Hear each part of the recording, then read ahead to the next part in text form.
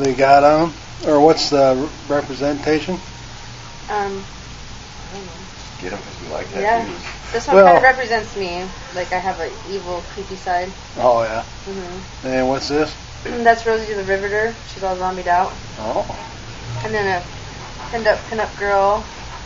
And then pumpkins because I like Halloween. oh, do you? Mm-hmm. And what's the other ones? And that's the American Gothic, all Oh. zombied out. Yeah. And what's this? That's my dad. Oh, pretty neat. Huh? And then I have these. All right. Boy, that's colorful. And then this one I just got yesterday. Oh yeah, hurt pretty bad. Yeah, a little bit. yeah. Have smoke some doobies or something. Yeah. to- And then a coffin with bats. Let's see. I love coffins and bats. All right. You love coffins and what? Bats. Oh, I thought he's in bed. And then I have this one. What's that?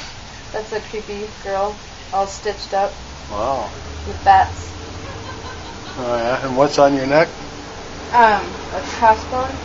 Skull crossbones. Oh really? Uh-huh. Boy, you wouldn't want that. I mean, geez.